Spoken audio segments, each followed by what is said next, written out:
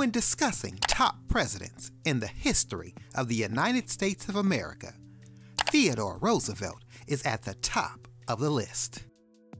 Theodore Roosevelt was an American statesman and politician who served as the 26th President of the United States from 1901 to 1909. Theodore Roosevelt was born on October 27, 1858, and lived to the age of 60, where he died on January 6, 1919. One of the reasons Theodore Roosevelt was considered a popular and successful leader was because of his strategy for governing the country.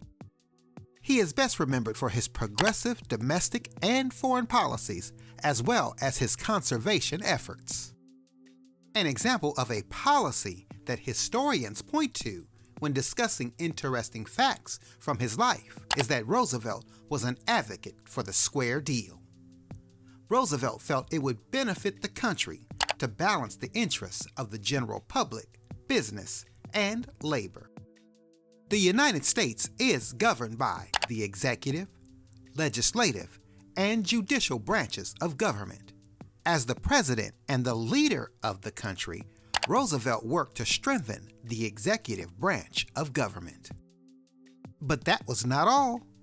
He also fought to expand the federal government's role in regulating business and improving the nation's infrastructure.